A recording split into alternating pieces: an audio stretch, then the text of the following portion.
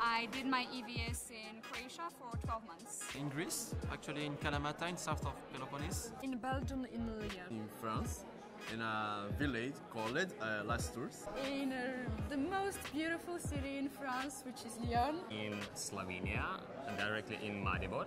I did theater workshops, I participated in a photography festival and an art festival. I was working there in a horse riding school for disabled children.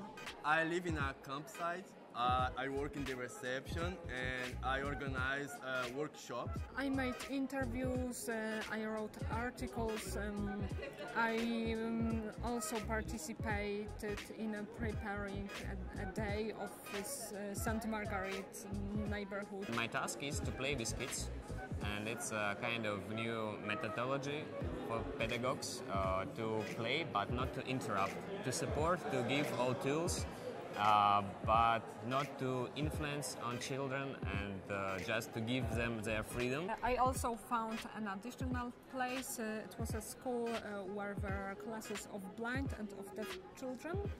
I worked a little bit with speech therapists um, and uh, with blind children. I went to the um, Orthodox service, so I saw like a completely different religion, a completely different culture, and it was a really amazing experience. Children in Slovenia know English very well, and uh, even kids five, seven years can introduce themselves and easily communicate.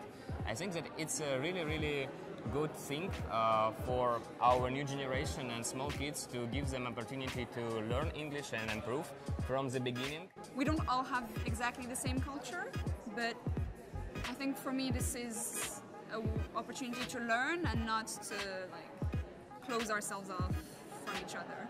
It's the most important thing that I've got.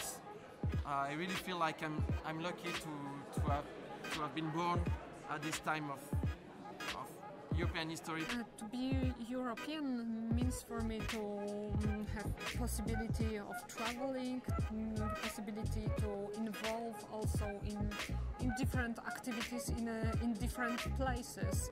For me, it's like a feeling because then I know that wherever I go and I find people who are believing in the European Union and its values and are sharing it, I know that I can feel comfortable.